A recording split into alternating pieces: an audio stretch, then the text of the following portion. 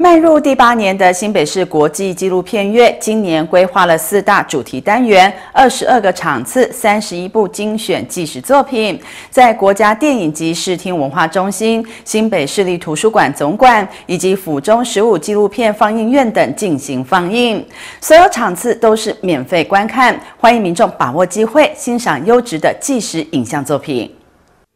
由新北市政府新闻局主办的二零二四新北市国际纪录片月，目前热烈开展中。今年规划了四大主题单元，共二十二个场次，三十一部精选纪实作品，并且进行多元多点的放映。民众可以在国家电影及视听文化中心、新北市立图书馆总馆、府中十五纪录片放映院、中和微秀以及板桥秀泰影城观赏。